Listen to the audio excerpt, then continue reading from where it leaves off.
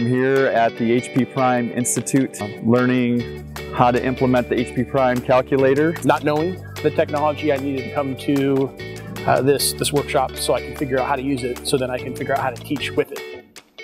One of the marvelous things about uh, evolution of technology over time, over a really long time, technology isn't in the way. Technology is giving me an avenue now where I can actually lay my hands on mathematical objects and manipulate them and see the results immediately. That's a game changer. The HP Prime is that collapse into a more simplified uh, system again where it's clear what the architecture is, it's clear what you can do. It doesn't, the bells and the whistles aren't, aren't confusing or distracting. It's a much easier tool uh, for, uh, for the user. It's very user friendly, it's very simple to understand, uh, and it can do more. Probably the best things about this institute is watching teachers go from learning how to do things on the calculator to learning how they would use the calculator to teach. Uh, connectivity kit that we have, uh, communication between me and the students uh, is that much more enhanced. It's, it's, I have capabilities there that I never had before.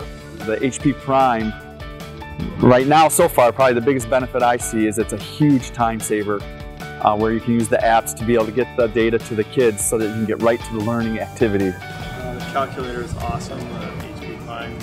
Um, what it does for calculus and the insights it lets you see that you can't see without it is just amazing. These guys are, are true math instructors and and they're giving us insights in teaching calculus way beyond just calculator. I'm enjoying the training. I think they do a nice blend of here's some structure to some ways to do it and oh yeah, go try this. Go play a little bit, then come back with your questions.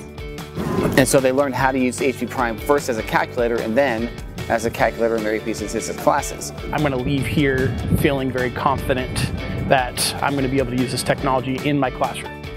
It's, it's just an invaluable experience. I'm learning a lot and looking forward to using the calculator in the classroom and, and learning more about it myself and helping my students learn more about calculus through it. And yeah, it's, it's pretty amazing.